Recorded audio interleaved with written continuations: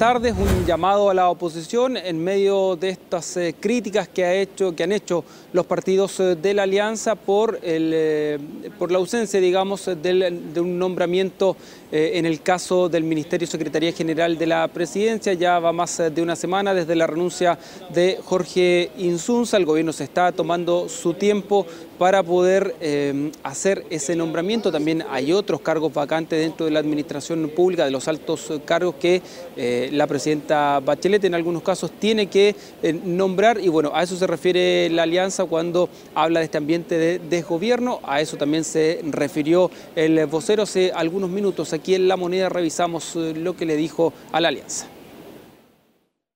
un conjunto de modificaciones que, reitero, debiesen cambiar radicalmente la forma en que se hace política en Chile y debiesen permitir que los ciudadanos vean a la política de manera transparente y proba.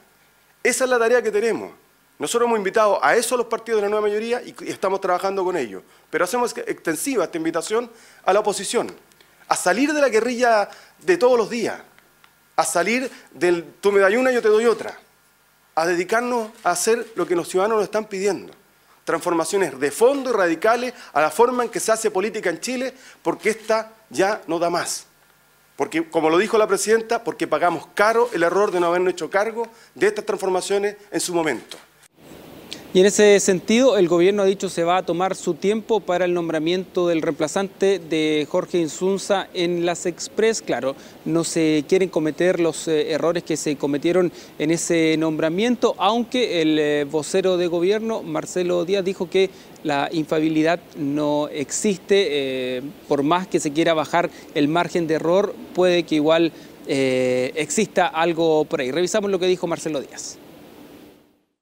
Un gobierno siempre quiere tomar sus decisiones con el menor margen de error posible.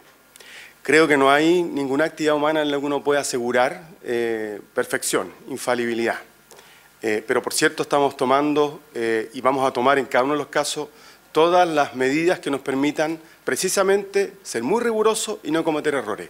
Garantía de que no nos vamos a equivocar, como seres humanos no la podemos dar, pero obviamente es un tema del que nos ocupamos y nos preocupamos.